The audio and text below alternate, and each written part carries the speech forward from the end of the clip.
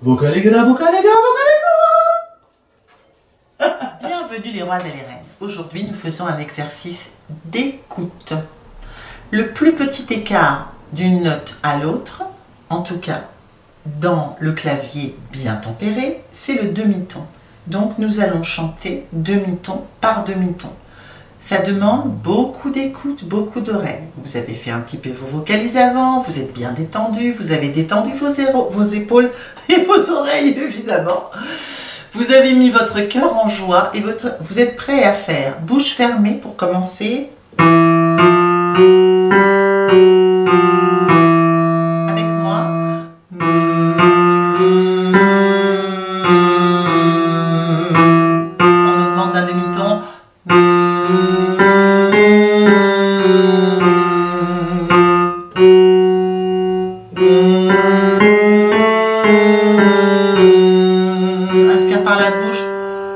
Se vent, le ventre se gonfle.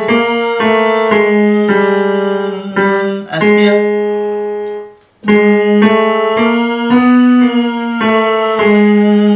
Allez, continuez, bouche ouverte pour inspirer.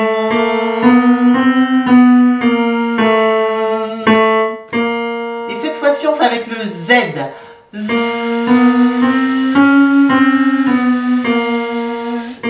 Avec le M.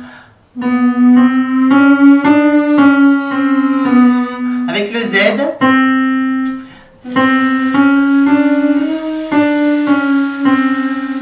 Avec le M. Allez, on continue, c'est bien. Détendez la nuque pour être sûr que ça crispe pas. Continuez.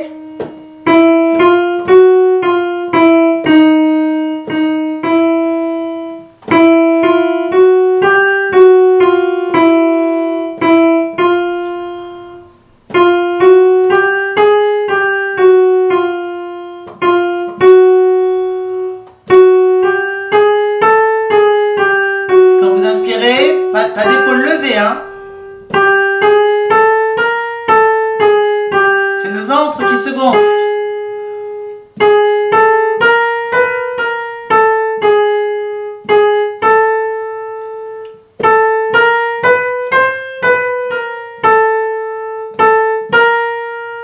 Si c'est trop aigu, vous repassez l'octave d'en dessous.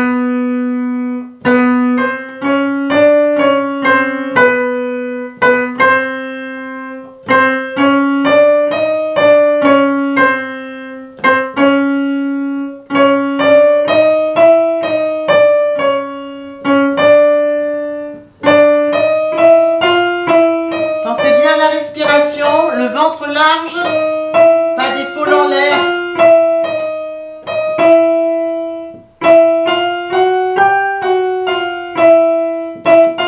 Allez, les sopranes, c'est peut-être la dernière, là. Non, il y a des sopranes qui peuvent encore y aller. Les ténors à l'aise.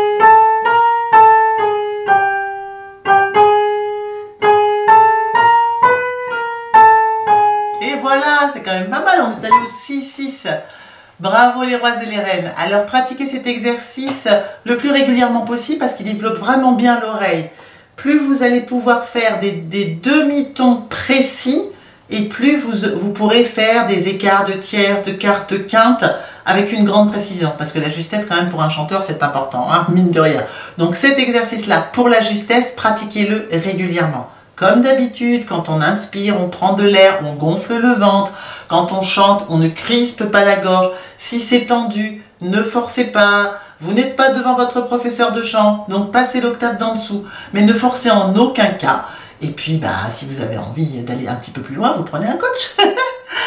Merci pour vos likes, pour vos abonnements, pour vos commentaires. Je suis euh, absolument ravie de sentir cette communauté qui grossit, qui grossit et de voir que vous pratiquez pour qu'on soit de plus en plus à enchanter le monde dans l'harmonie. À bientôt les rois et les reines